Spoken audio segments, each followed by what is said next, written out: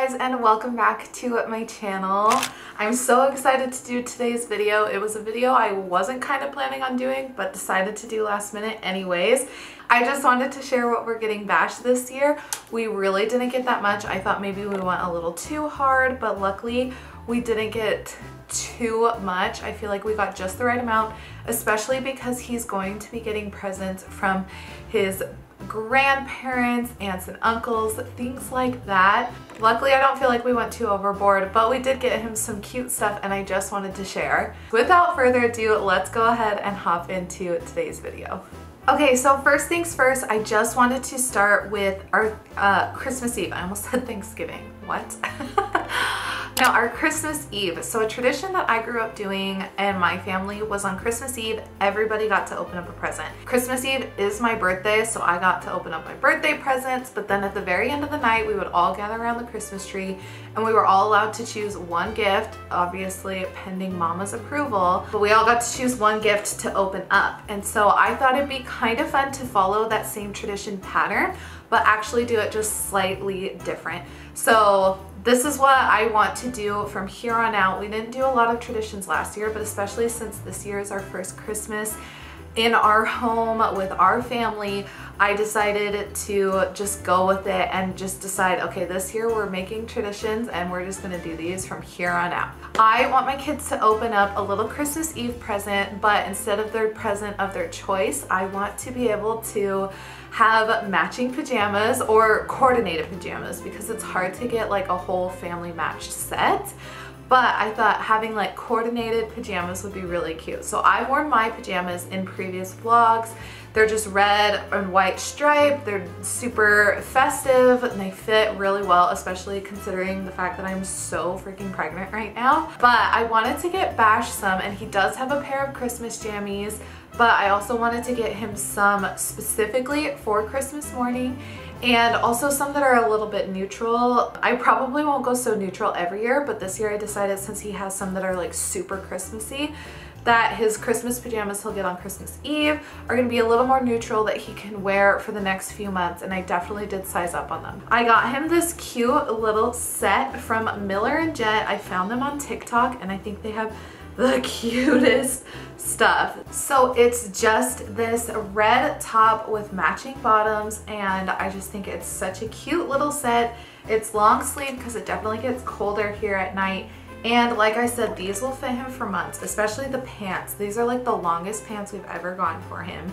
And I feel like these are gonna be so good and they're gonna fit him for forever. And it's good because this kid always needs pajamas, I feel like. Another thing that I really wanted to do and that I've seen people do iterations of is like a Christmas book. So some people do like 25 days of books leading up to Christmas so every night they open up a new Christmas book but I feel like that's one a lot of money and two a lot of Christmas books and I'm like if you did that for 10 years for just one kid that's 250 bucks but if you add more kids and you do it for every single kid each kid gets a Christmas book it's just a lot of Christmas books and it's just, it's a little bit too much for me. So I decided that they would get one, I mean, we'll probably get other Christmas books obviously throughout the Christmas season every year, but specifically on Christmas, they'll get one Christmas book and the Christmas book is gonna be more dedicated to the real meaning behind Christmas, behind Christ and his life and things like that. So more of a religious focus than like a consumerism Santa focus,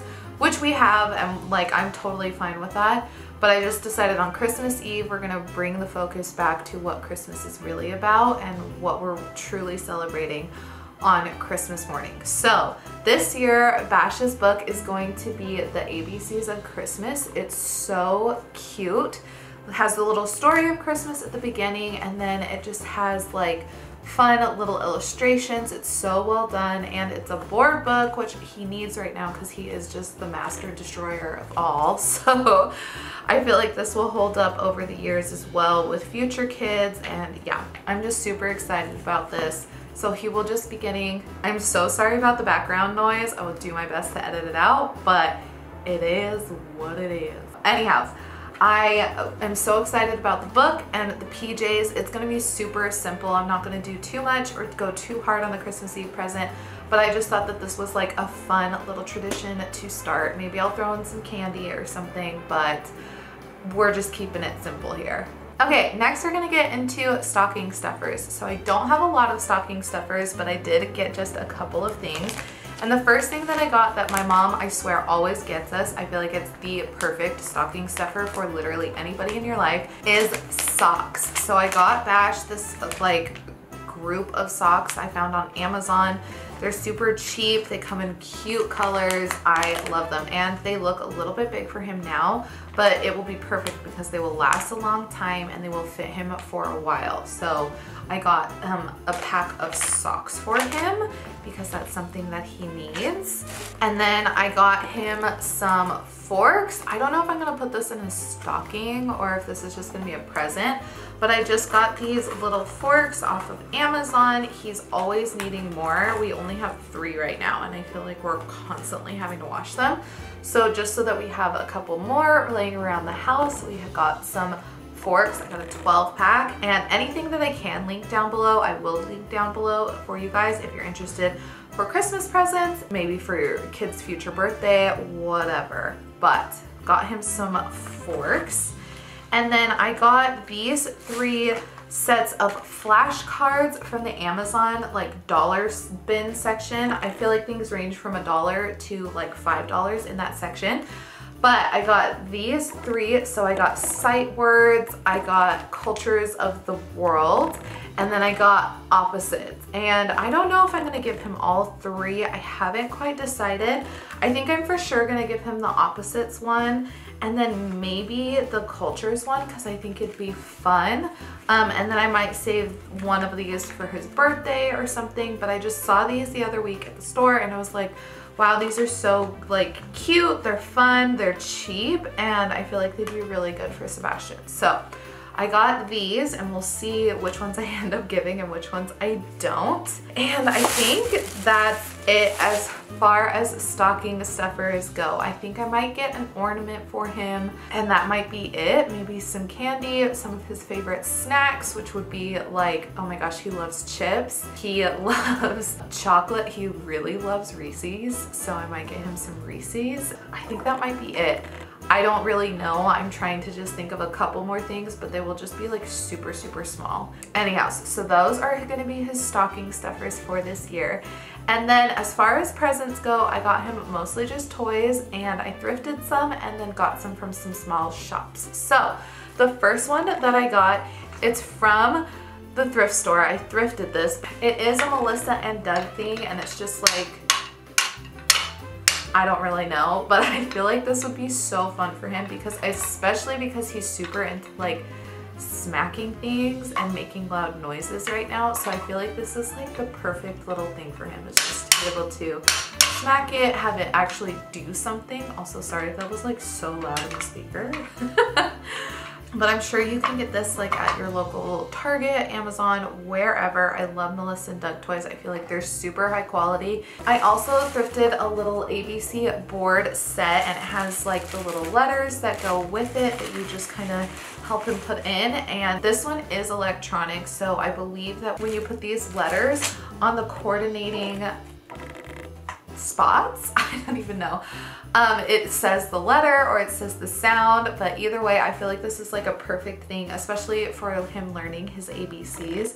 I think this will be super fun. I am bummed though, because since it is thrifted, I thought that it would have all the pieces, but it's missing the U, which is sad, and it's only one piece, and it like, slightly will drive me crazy that I'm missing a piece, but overall, considering it was $2 at the thrift store and it's in like such good condition and everything, you get what you get. you know, it's really not that big of a deal. So I'm like trying not to think about it, trying not to let it be that big of a deal. But I just thought it would be super fun for him and just something we can do together. So got this. And then I also got these next gifts from the dollar section. I think I'm only gonna give him one, but I got two of these little puzzles where you can like put an animal together and while it's flat right here, it like does end up being like, I don't even know if you can see this, but it does end up being a 3D puzzle. So I got two and I think I'm only gonna give him one for Christmas. I just can't decide which one. Um, and then the other one I think I'll save it for his birthday. But I just thought that these would be so fun for him.